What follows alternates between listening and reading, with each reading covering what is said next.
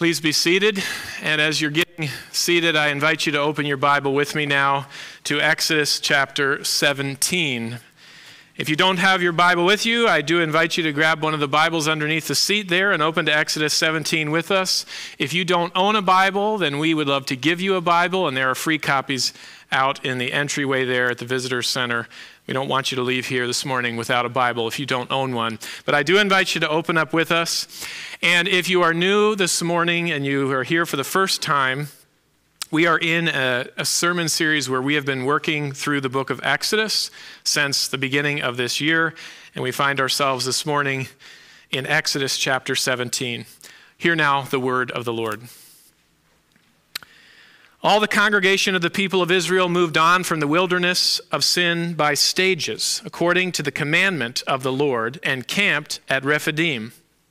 But there was no water for the people to drink. Therefore, the people quarreled with Moses and said, Give us water to drink. And Moses said to them, Why do you quarrel with me? Why do you test the Lord? But the people thirsted there for water, and the people grumbled against Moses and said, Why did you bring us up out of Egypt to kill us and our children and our livestock with thirst? So Moses cried to the Lord, What shall I do with this people? They are almost ready to stone me. And the Lord said to Moses, Pass on before the people, taking with you some of the elders of Israel, and take in your hand the staff with which you struck the Nile, and go. Behold, I will stand before you there on the rock at Horeb, and you shall strike the rock, and water shall come out of it, and the people will drink. And Moses did so in the sight of the elders of Israel. And he called the name of the place Massah and Meribah because of the quarreling of the people of Israel, and because they tested the Lord by saying, Is the Lord among us or not? Then Amalek came and fought with Israel at Rephidim. So Moses said to Joshua, Choose for us men and go out and fight with Amalek. Tomorrow I will stand on the top of the hill with the staff of God in my hand. So Joshua did as Moses told him and fought with Amalek. While Moses, Aaron, and Hur went up to the top of the hill. Whenever Moses held up his hand, Israel prevailed. And whenever he lowered his hand, Amalek prevailed. But Moses' hands grew weary, so they took a stone and put it under him, and he sat on it, while Aaron and Hur held up his hands, one on one side and the other on the other side, so his hands were steady until the going down of the sun. And Joshua overwhelmed Amalek and his people with the sword. Then the Lord said to Moses, Write this as a memorial in a book and recite it in the ears of Joshua, that I will utterly blot out the memory of Amalek from under heaven. And Moses built an altar and called the name of it, The Lord is my banner, saying, A hand upon the throne of the Lord. The Lord will have war with Amalek from generation to generation. Let's pray together. Heavenly Father, we thank you for the revelation of your word to us this morning. We thank you that, Lord, your law is perfect and that it revives our souls.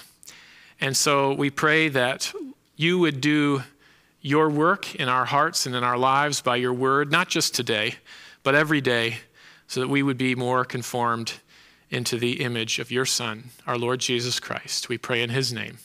Amen. Some of you know that one of my favorite series of books is the famous trilogy called The Lord of the Rings by J.R.R. Tolkien. And many of you know that Tolkien was a Christian. And in those books, there are many Christian themes throughout that epic story. The story is really one long, epic journey or a quest where the main characters face many dangers along the way.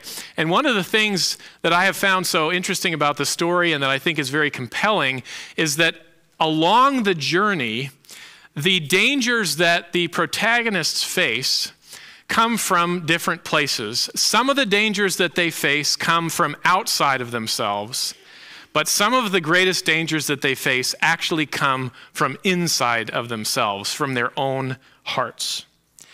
And I say that to you this morning, and I want you to think about that because there is a very similar dynamic going on in Exodus 17 in our passage this morning. In Exodus 17, God's people are on a journey. They have been saved from Egypt. God saved his people from Egypt, but after he brought them out of Egypt, they immediately went on a long journey to head to the promised land. And as we're going to see today, they faced some major problems along the way of that journey. And some of the problems came from outside of themselves, but some of the greatest problems actually came from inside of themselves, from their own hearts. And they would need God's help again and again and again, and they would need to be rescued again and again and again. And I hope that you can look at that and immediately see that we're no different. In fact, the, the, the, scriptures say that the picture that you get of Israel in the New Testament is a picture of the Christian life for all of God's people. Because once God saves you and me, we are on a journey to the promised land, except we're not heading to an earthly Canaan, we're heading to a heavenly Canaan, and that journey will end when we end, enter the kingdom of heaven. But Scripture makes very clear that along the way, you're going to encounter many dangers, many toils, and many snares. Some of the dangers you're going to face are going to come from outside of yourself. Some of the dangers you're going to face are going to come from inside of yourself. So today I want to look at two problems that the Israelites faced along this journey and as we're going to see, these are not just two problems that they faced, but they're two problems that every one of us faces as we journey through the Christian life. So let's look at them together. And the first one is actually an internal problem. We're going to start with the internal problem. Look with me again at chapter 17, the beginning of that chapter. It opens with these words It says, All the congregation of the people of Israel moved on from the wilderness of sin by stages according to the commandment of the Lord, and camped at Rephidim, but there was no water for the people to drink. Therefore, the people quarreled with Moses and said, Give us water to drink. And Moses said to them, Why do you quarrel with me? Why do you test the Lord?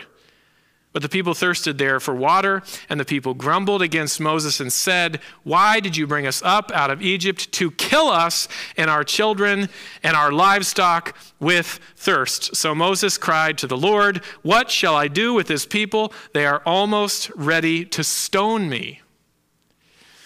Now, this is not the first time that the Israelites have faced a water problem in the wilderness. If you've been with us for the last several weeks, you know that back in chapter 15, they also had a water problem. There was no water to drink, and the Lord miraculously provided water where there was no water. And then in the very next chapter, there wasn't any food, and God provided food by sending manna from heaven.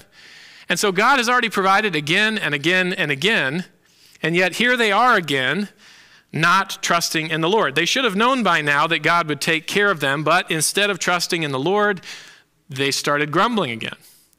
And what we see here is that God's people have what I like to call spiritual amnesia. That's really what this is.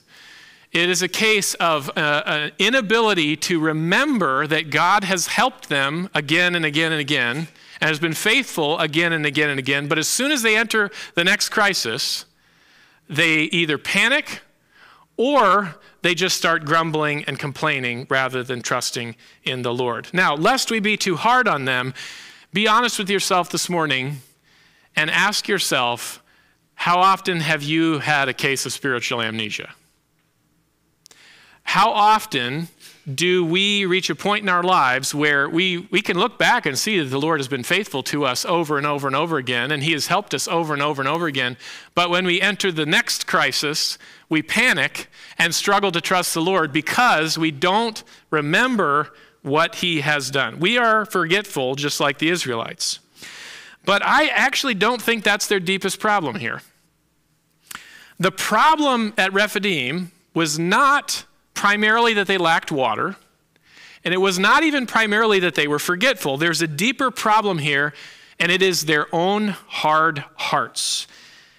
Their hardness of heart was the greatest fundamental problem at Rephidim. And I say that because if you look at Psalm 95, which refers back to this event, it explicitly tells us that hardness of heart was what God's people were dealing with. Listen to these words in Psalm 95.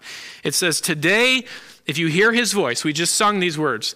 Today, if you hear his voice, do not harden your hearts as at Meribah, as on the day at Massah in the wilderness, when your fathers put me to the test and put me to the proof, though they had seen my work. What was the fundamental problem at this time when they lacked water? Was it that they had a water problem? No, that wasn't the fundamental problem. Was it forgetful? Well, that was a problem, but it wasn't the fundamental problem. According to Psalm 95, it was that they had hardened their hearts. Their greatest problem was their own hard hearts. And there's something somewhat ironic about that when you think about it, because when the people were in Egypt, what did they need to be saved from? They needed to be saved from Pharaoh's hard heart. And after they leave Egypt, what do they need to be saved from now? They need to be saved from their own hard hearts. They need to be saved from themselves. And I want to take that opportunity to remind you of something that you see in Scripture from cover to cover, and that is that according to Scripture, the greatest problem we face in this world is not something outside of us, it's something inside of us. Our greatest problem is ourselves. It's like that old cartoon from many, many decades ago, which says we've met the enemy, and what? He is us. The greatest enemy that we face is not something outside of ourselves, it is ourselves, it's our own hearts. The problems that you see manifesting themselves in the world today are problems that come from the human heart. If you need any evidence of that, just look at the teaching of Jesus. Here's what he said in Matthew 15 19. He says, For out of the heart come evil thoughts, murder, adultery, sexual immorality, theft, false witness, slander, and the list could go on and on and on. Jesus made clear that the problem was the human heart. I heard somebody say it once this way they said, The heart of the human problem is the problem of the human heart. The heart of the human problem is the problem of the human heart. Uh, we don't just need to be rescued from sin, we need to be rescued from ourselves. The Israelites didn't just need to be rescued from Egypt, they needed to be rescued from themselves.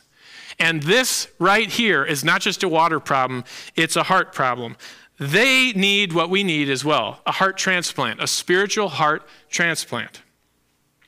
Now, I want you to see what God does. Look at verse 5. It says, The Lord said to Moses, Pass on before the people, taking with you some of the elders of Israel, and take in your hand the staff with which you struck the Nile, and go. Behold, I will stand before you there on the rock at Horeb, and you shall strike the rock, and water shall come out of it, and the people will drink. And Moses did so in the sight of the elders of Israel.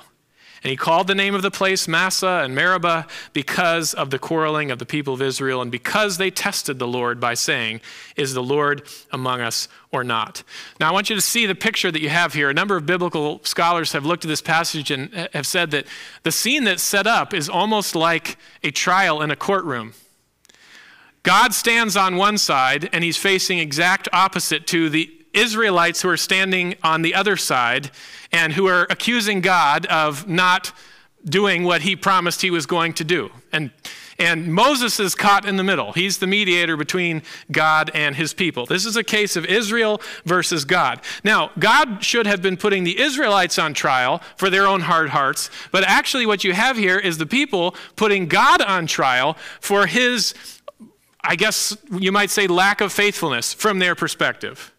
They are putting God on trial. They are accusing, through Moses, God of being unfaithful or uh, not good. I don't, I, I, whatever you want to say, to fill in that blank. But they, they are putting God on trial for his supposed lack of provision and calling his faithfulness and his goodness into question. And again, lest we be too hard on them, we need to ask ourselves how many times have we been guilty of bringing God into the court of our own judgment? It's very easy to read the Old Testament, and I hear people say this all the time. Boy, the Israelites were sure pretty dumb, weren't they? I mean, they just didn't get it, did they? And we can say that. Or we can say that about the disciples.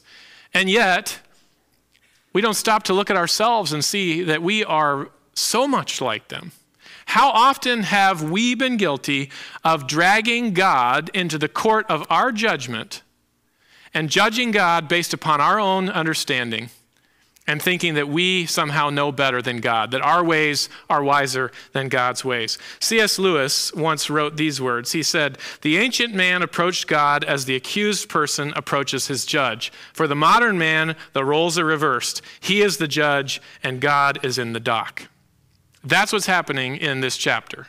God is in the dock. Now, if God wanted to, he could have instructed Moses to take that staff, which was the staff of judgment, through which God had executed judgment on the Egyptians. It was that same staff that had, had, had been lifted into the air, and God's judgment was carried out on the Egyptians. He could have chosen to instruct Moses to lift up that staff and strike the Israelites dead right there.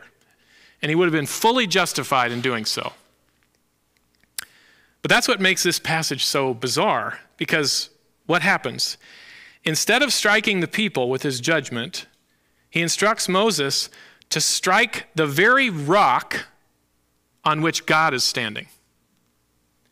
And when he does, water comes flowing out, showing once again what we saw in chapter 16 and chapter 15 and practically every chapter of this book that God is merciful to undeserving sinners. But, but this is not just a picture of God being merciful to undeserving sinners. There's actually a picture of something greater here because in the New Testament, Paul points back to this very incident and says it was a preview of something that would happen in Christ. He says in 1 Corinthians 10, For I do not want you to be unaware, brothers, that our fathers all ate the same spiritual food and all drank the same spiritual drink, for they drank from the spiritual rock that followed them, and the rock was Christ. Now, a lot of people read 1 Corinthians 10, they say, but that's a bizarre statement that he's making. Somehow, Paul identifies Christ with the rock that flowed in the wilderness. But what he is saying here is that just as Moses struck the rock with the staff of God's judgment, and life giving water came flowing out in the wilderness, what would happen in Christ? Christ would be struck with the rod of God's judgment on the cross, and out came life giving water. Out came salvation. In other words, the rock in Exodus 17 was a tiny little picture, a tiny little preview, not just of the mercy of God, but the salvation of God that would come through Christ. So, what do we see in Exodus chapter 17? The first problem that the Israelites faced in the wilderness was not something outside of themselves, it was something inside of themselves. The first problem was their own hearts. They needed to be rescued from themselves. We need to be rescued from ourselves, and that can only come through Christ.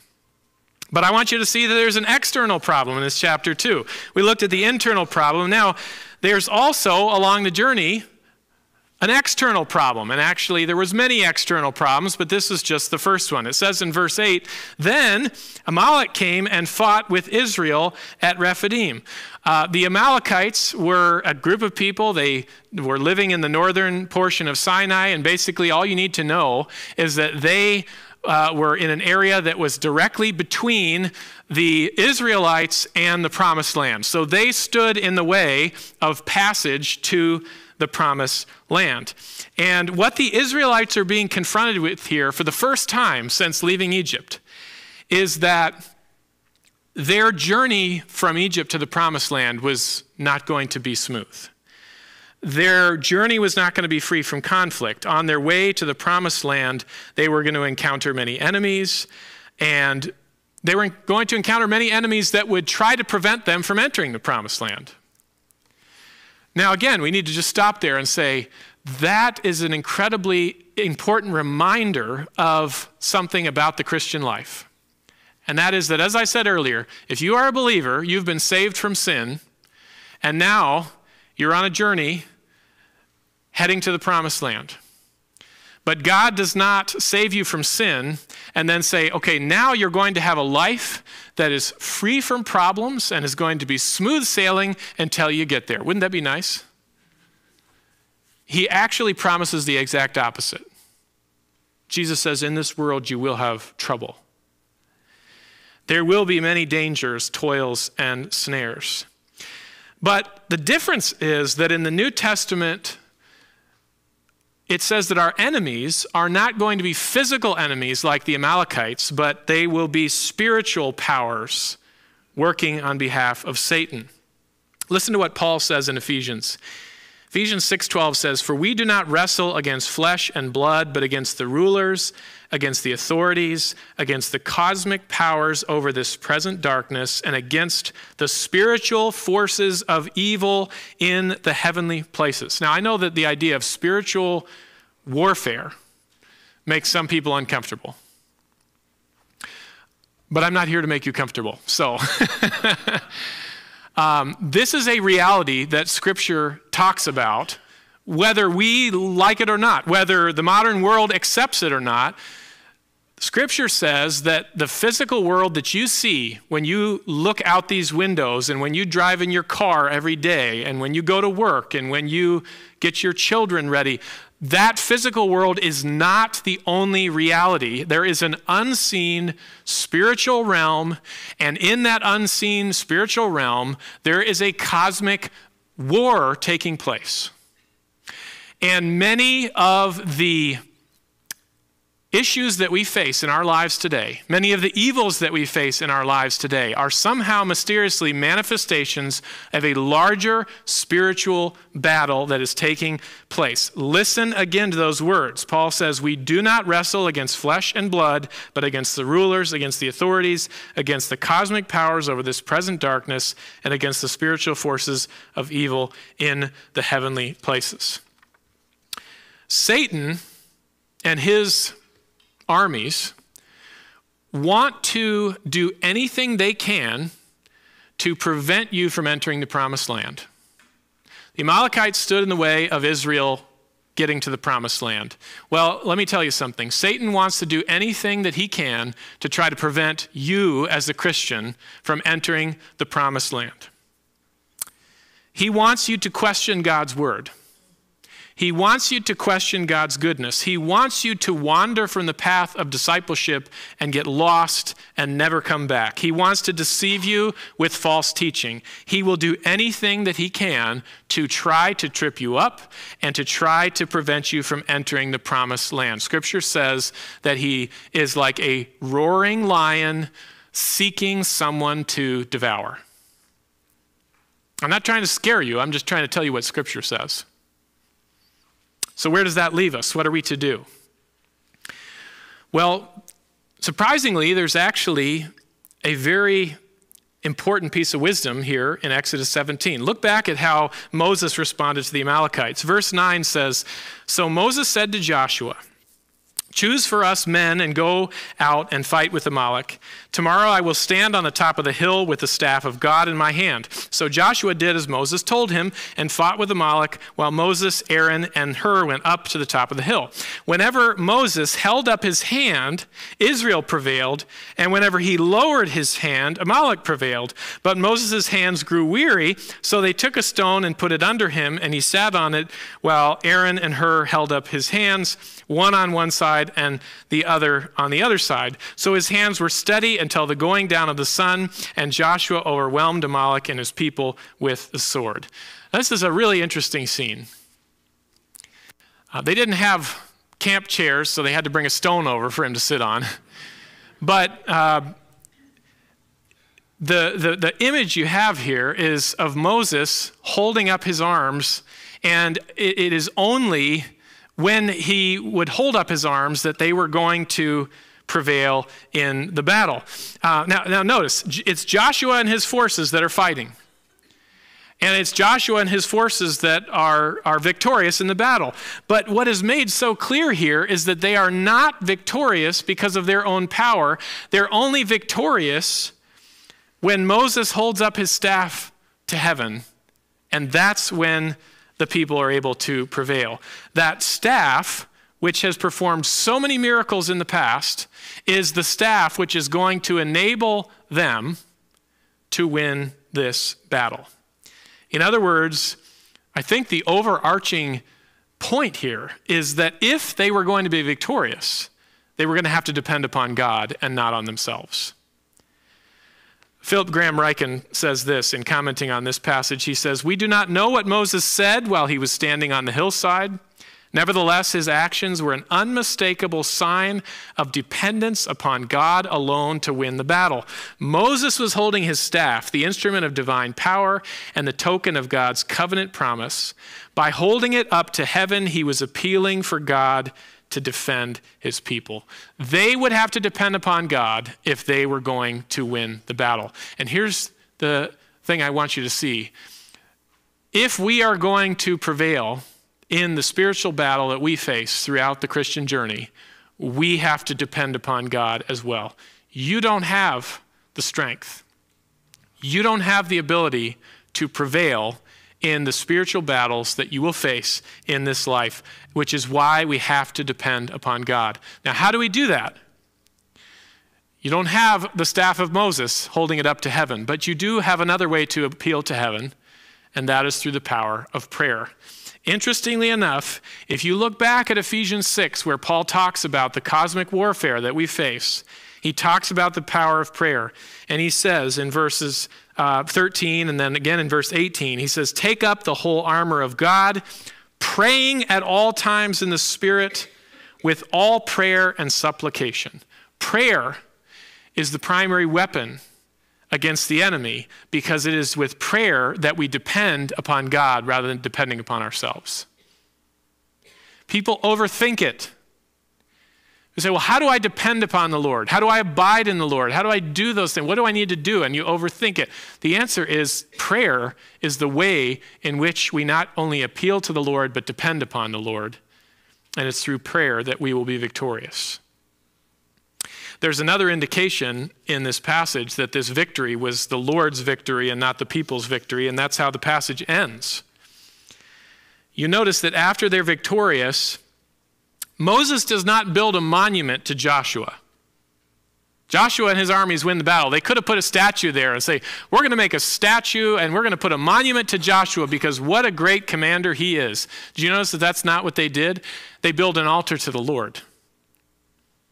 Verse 14 says Then the Lord said to Moses, Write this as a memorial in a book and recite it in the ears of Joshua, that I will utterly blot out the memory of Amalek from under heaven. And Moses built an altar and called the name of it, The Lord is my banner, saying, A hand upon the throne of the Lord. The Lord will have war with Amalek from generation to generation. You know, a banner was something that soldiers would look to in the midst of a battle. You'd go into battle and you'd raise this banner, and the banner would often have the insignia of your army, and that banner was a source of identity. You could look to that banner and you could remember your identity. It was also a source of courage because as long as the banner was flying, you knew that uh, the battle had not been lost you know, it's been said that every single person has some kind of banner. Every single person has something that they look to for their identity, for their hope, for their security. And it's worth asking ourselves okay, then what is our banner? Well, the way Moses answered that question was he said, The Lord is my banner. The Lord is the one I look to for my identity. The Lord is the one I look to for my security. The Lord is the one I look to for my hope and it's in Him that I can be confident that I will win the battle.